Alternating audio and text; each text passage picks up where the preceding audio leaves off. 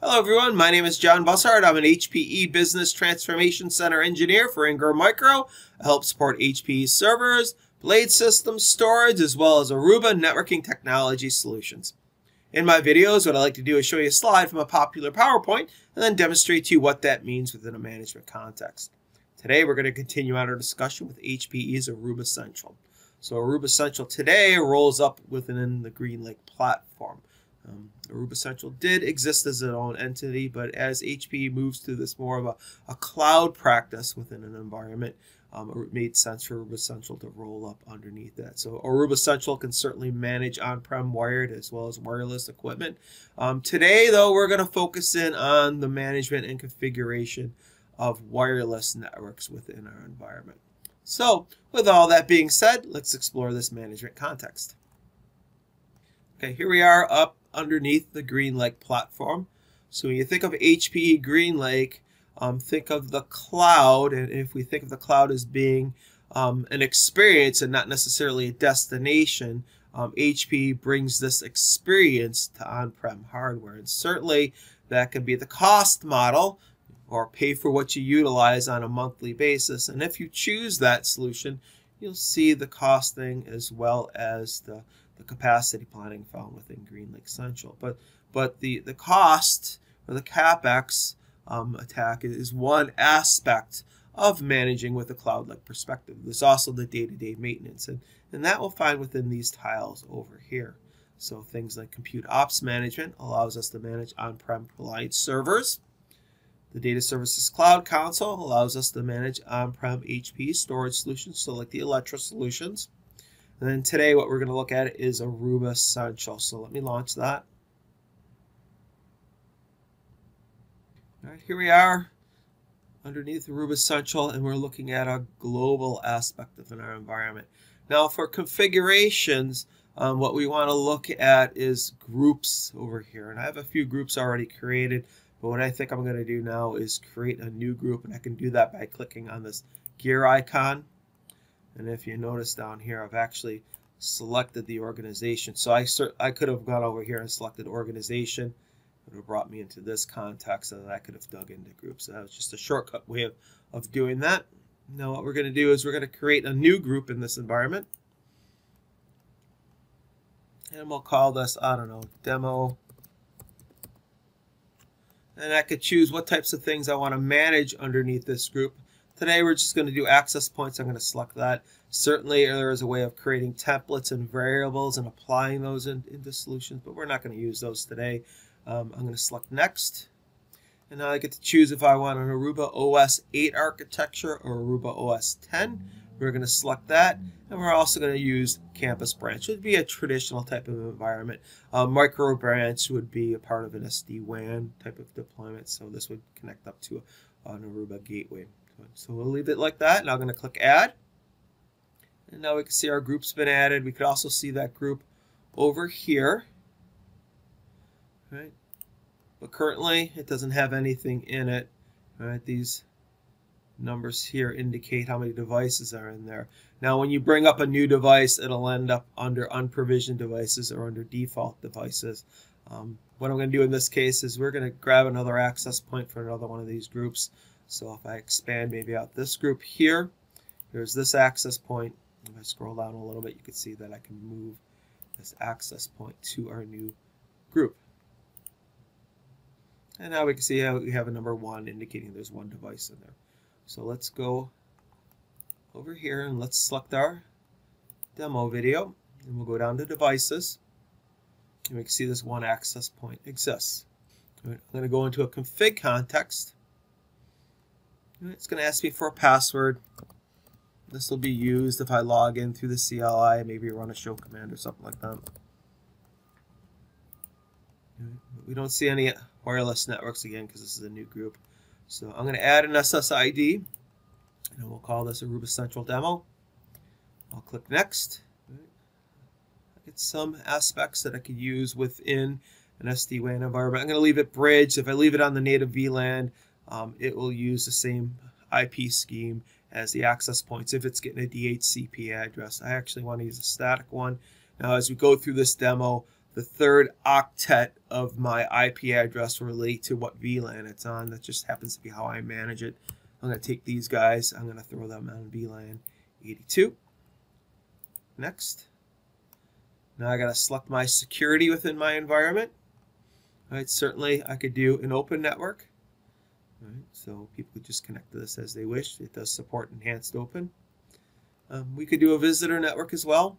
I think we'll do this in a little bit. Um, certainly a personal network is where I just need a passphrase in order to be able to log into the environment. And for the utmost in security, we certainly do have enterprise configurations. And I could do things like add a radius server into this. So somebody could log in with maybe username or passwords, or we could do pretty elaborate things with this, um, especially if we integrate something like a ClearPass server. So HP's ClearPass solution. Again, you could do many great things with that. One thing I do want to note underneath the primary service, we have this cloud auth. I'm going to come back to that a little bit later, and we'll discuss that, um, you know, a little bit later on in this video. So, so we're just going to create a network real quick. We'll do the personal network.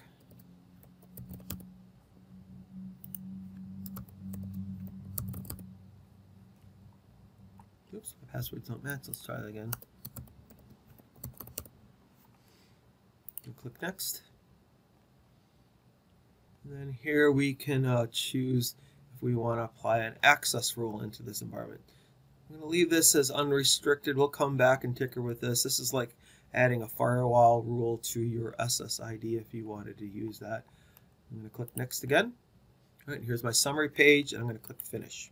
Now we only have one access point within this group, but if I had multiple access points, this SSID would be pushed out to all of them, and those could be at one location, or could, these could be branches all across the globe. Again, this is a configuration context. If I wanted to kind of separate these out based on site, I certainly could set up sites over here as well. All right, so we have this one SSID created over here, so let's connect into that environment.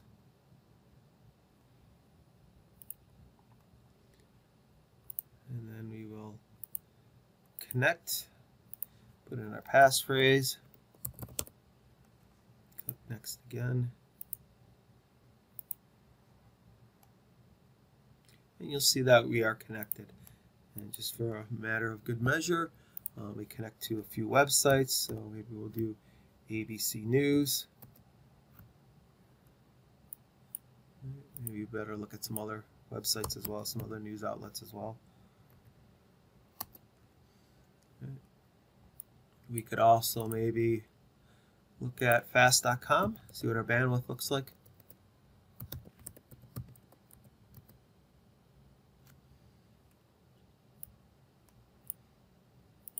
And since everybody loves their furry friends, why don't we look at PetSmart as well? All right, so certainly this network works or this wireless SSID works within the environment. So let's go back through and let's tinker with this SSID and look at some of the firewall rules that we have available to us. Right, so I'm going to select this and we're going to edit it. Right, you can see our network, our VLAN that we're associated with, the security we're using, and here's the access. So we could do role-based. Um, that could certainly pass down by a ClearPass server. I'll show you how we can use that within this context um, in a little bit. Um, I'll select network base right now, and right now it's set to allow to all destinations, and certainly we could see we could get anywhere we wanted to. Um, but I'm going to go down and add different rules, and certainly we've got a great amount of capacity of what we can do within this environment. Right, we could even limit down to DNS, IP address, access points. Um, in our case, why don't we do this? And we'll go down to web category. Certainly there's a lot of things that I would like to limit here, but why don't we do something a little bit simpler and we'll just do news and media and I'll select deny. Click OK. So this is like an access control list. It starts from the top to bottom. If it hits something, it'll unact it. Why don't we add another one just for good measure and why don't we do um, application and we'll do maybe YouTube. But this time maybe I want to allow people to get there but I want to application throttle them. So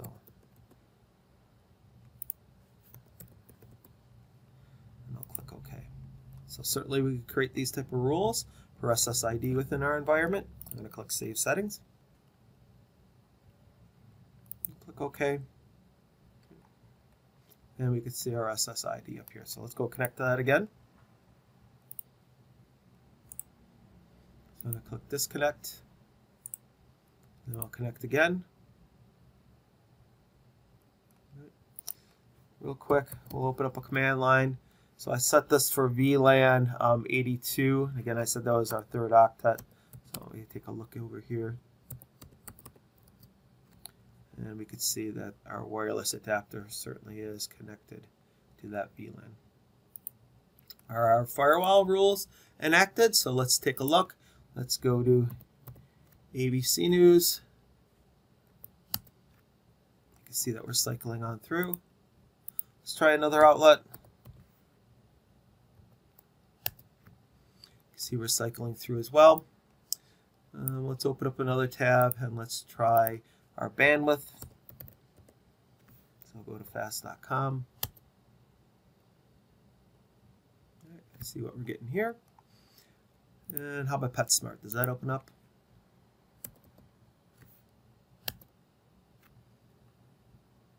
So that's certainly opening up as well. Again, as we can tell, we've been blocked on our news outlets. So that's kind of a handy feature that we could utilize as a part of our network environment. Having more tools is better than having less tools. All right, so let's let's log out of this environment.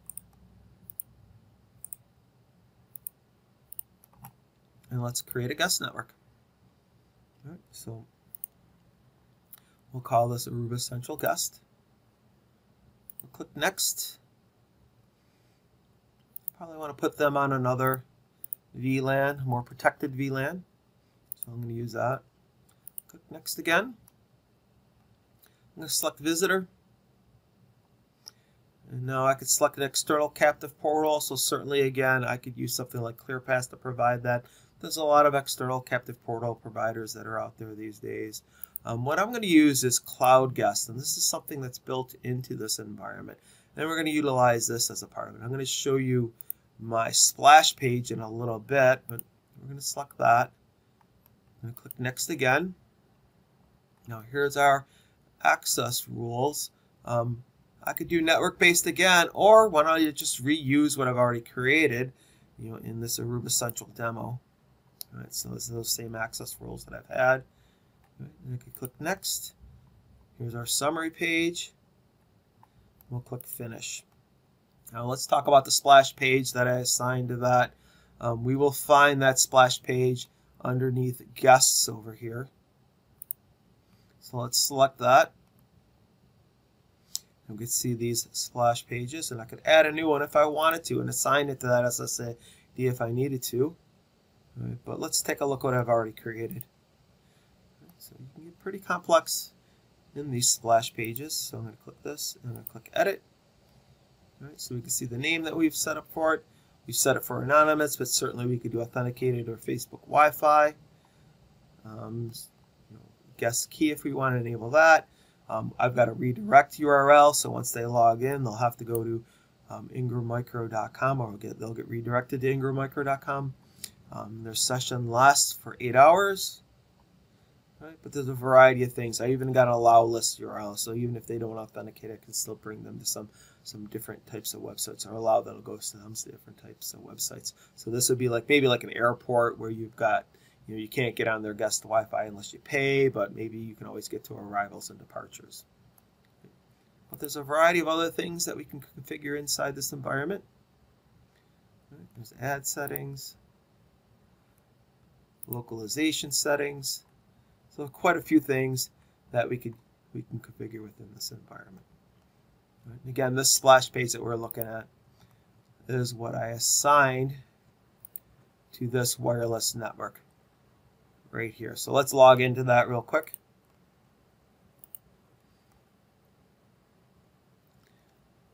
Let's go find this network. There it is. I'll click connect. And we can see our splash page has popped up. And if I open up a command line,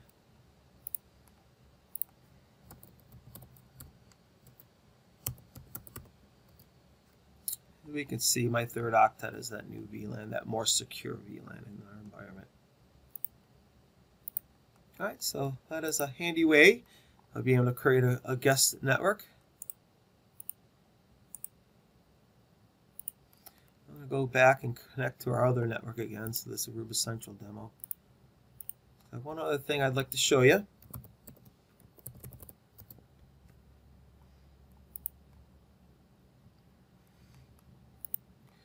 Now, when I created an SSID, right, just give this some type of name. We'll leave it at this native VLAN, but I could set up an enterprise network, and I could have selected cloud auth. So a lot of people buy ClearPass so they can authenticate against an Active Directory um, within their environment. There's a lot of other things. It's a very powerful tool. There's a lot of other things you can do to kind of massage traffic on your network. But a lot of time people look at purchasing that for, for those reasons. Um, CloudAuth allows us to be able to do that if we're authenticating against Azure Active Directory. Now I have to set that up, so I'm going to click cancel here.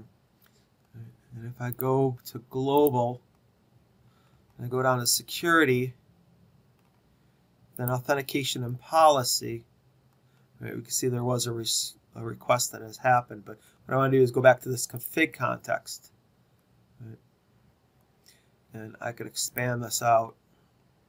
You can see that I have um, set this up within my environment. Now, I'd show you a video on this, but when you go to set this up, they have links to some great videos. They're very, very straightforward in order to be able to set this up, you got to capture some information from within Active Directory and bring this on over. But once you do that, now you will need an onboarding URL, so I'm going to copy that URL real quick.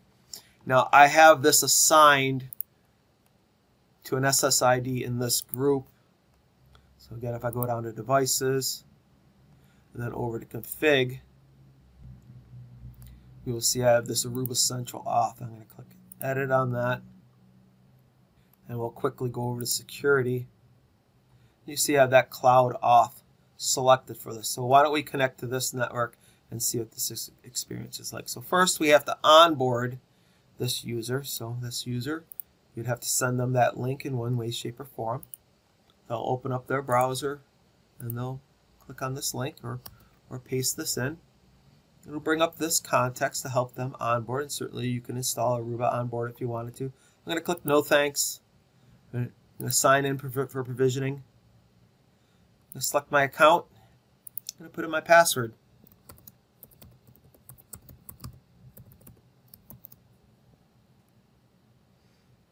I'm going to sign in.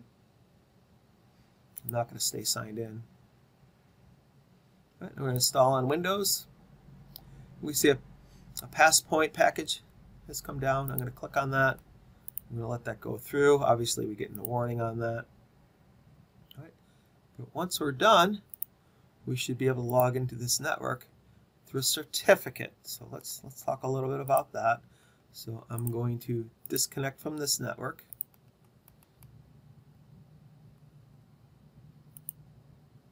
So I'm going to connect to this cloud auth.